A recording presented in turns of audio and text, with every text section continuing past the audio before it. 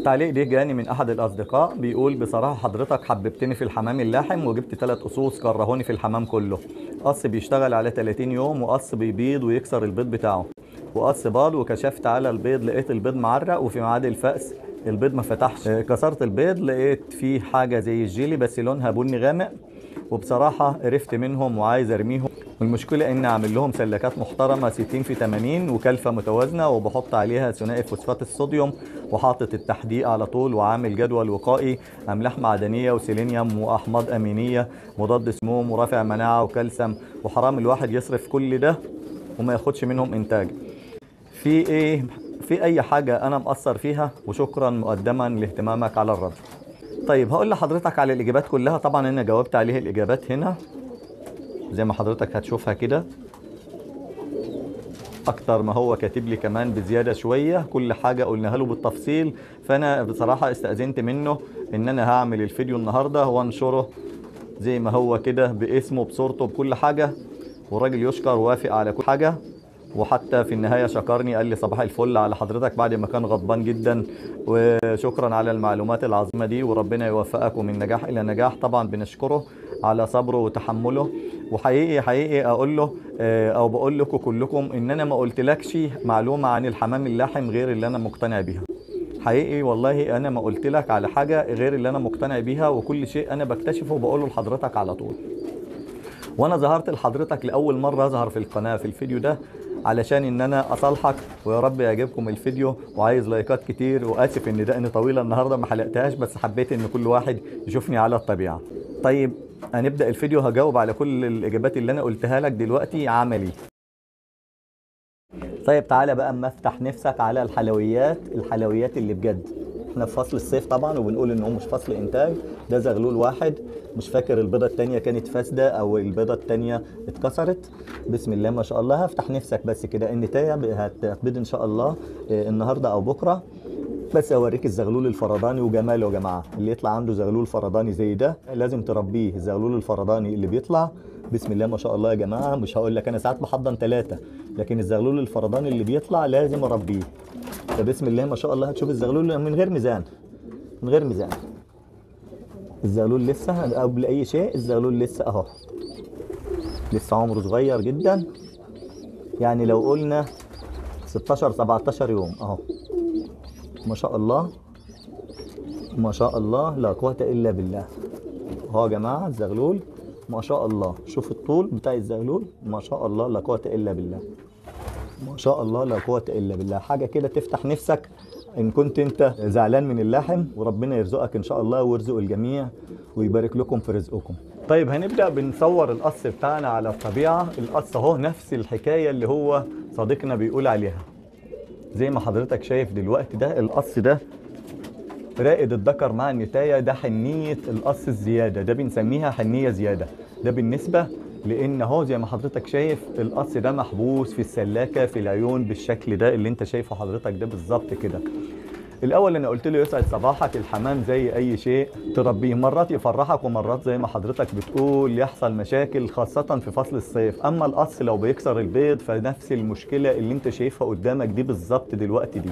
المشكلة دي موجودة وبكثرة وفي ناس كتير بتشتكي منها خاصة في الحمام اللاحم. إحنا هنتكلم النهاردة على الحمام اللاحم اللي هو في سلكات وإزاي إن هي المشكلة دي بتحصل ليه؟ بتحصل لو القص حمام تقيل أو لو القص ده عنده حنية زيادة. هحاول اوري لك اهو.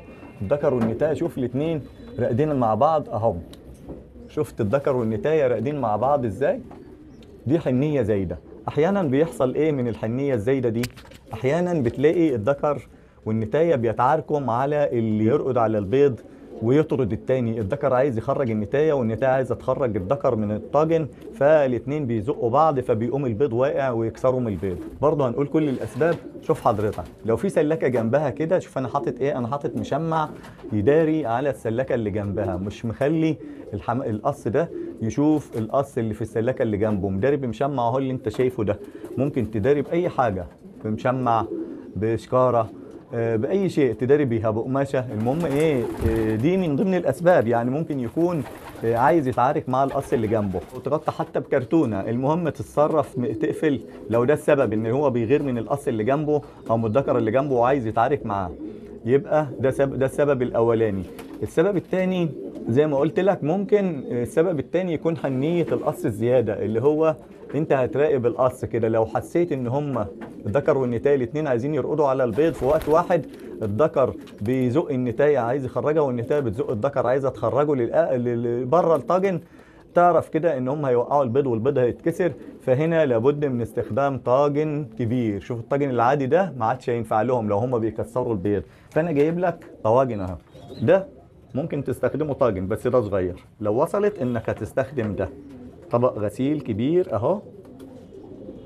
لو وصلت للطاجن ده ماشي حط استخدم الطاجن الكبير لكن أخد بالي هحط فيه شوية رمل بحيث إن هم ما يقدروش يقلبوه حوالي تلت الطاجن كده. هو غويط أهو.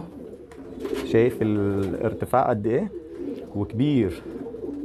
مساحته العرض بتاعه كده حوالي 40 سنتي. ده مش هيقدروا إن هم يوقعوا منه البيض خلاص. ده الحل بتاعك وتفرشه بالرمل. يبقى ده هو الطاجن اللي هينفع معهم. هم عندي هنا الحمد لله راقدين بسلام ما بيعملوش حاجة. أما لو وصلت لأن الذكر والنتاية بيضربوا بعض مين يرقد على البيض؟ شيل الذكر من السلاكة.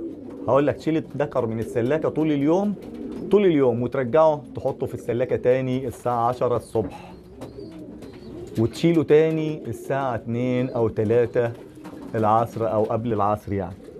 يبقى هتحط الذكر الساعة 10 وتشيله. النتاية هتسيبه في الحالة دي هتسيبه آه، يرقد على البيض وترتاح هي شوية. مش هتش مش هيتعاركم. وتشيله تاني الساعة 2 أو الساعة 3 خلاص يبقى كده مش هيحصل مشكلة المعركة دي تاني. آه، النتاية هترقد على البيض مرة تانية ساعة ما تشيله العصر سعادتك. النتاية هترقد على البيض مرة تانية. حاول برضه في حاجة كمان حاول في الفترة اللي القص راقد على البيض إنك تمنع عنه الفيتامينات. القص ده اللي أنت شايف منه المشكلة دي امنع عنه الفيتامينات خاصة السيلينيوم لأن السيلينيوم بيعمل نشاط زايد للذكر. الذكر أحيانا بيكون نشيط زيادة نشيط جنسيا فعايز يكسر البيض عشان النتاية تقوم من على الحصى و ولما النتاية تقوم من على الحصى يبدأ يتزوج من جديد. فطبعا لو كسر البيض النتاية هتتزوج. فهو الذكر عارف الحكاية دي. بيكسر البيض عشان النتاية تتفرغ للزواج. ودي حاجة موجودة ومعروفة في حيوانات كتير منها الأسد والحمار الوحشي. بيعملوا كده. الأسد بيموت ولاده والحمار الوحشي بيموت ولاده. ده على سبيل المثال يعني. آه، وممكن تفتح كمان. يعني انت ممكن تفتح العين زي ما أنا فاتحها كده وتسيبهم. لو الذكر شافها كده الذكر هياخد راحته هينزل ويطلع ويتلهي شوية عن النتاية ويلعب في الأرض مع الحمام السايب كده وخلاص مش هيرجع للنتاية غير وقت رقوده هو على البيض. وممكن كمان تحل المشكلة دي بإنك تاخد البيض أول ما البيض يتباض. لو هو القص ده السبب إن القص ده تقيل بيكسر البيض ممكن تاخد بيضه تحضنه تحت قص تاني. زي ما أنا مربي كده حمام زاجل وبحضن في بعض الأحيان يعني بحضنه تحت الحمام الزاجل. آه، ده حل لو أنت عايز تريح دماغك يعني.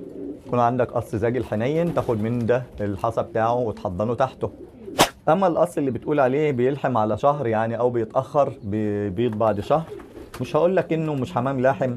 هنحاول ناخد بالأسباب. من الأسباب دي النتايه فيها عنقود بيض طبعا. ممكن يكون اللي باع لك الحمام استهلك النتايه دي أو أخد منها بيض كتير بمعنى إيه؟ إن بقت النتايه كل ما تبيض ياخد بيضها يحضنه كل ما الجوز ده يبيض ياخد البيض ويحضنه تحت قص تاني فأصبحت النتايه مستهلكة. أقترح عليك تعزلها عن الذكر لمدة شهر. شيل النتايه ريحها لمدة شهر خاصة إن إحنا في فصل الصيف وفي ناس كتير أساسا بيريحوا من الحمام آه، في فصل الصيف. ده أصلا مش فصل إنتاج. بكده أكون خلصت موضوع فيديو النهارده. لو عجبك الفيديو اعمل لايك واشترك في القناة لو ما كنتش مشترك وفعل زر الجرس علشان يوصلك باقي فيديوهاتنا. والسلام عليكم ورحمة الله وبركاته.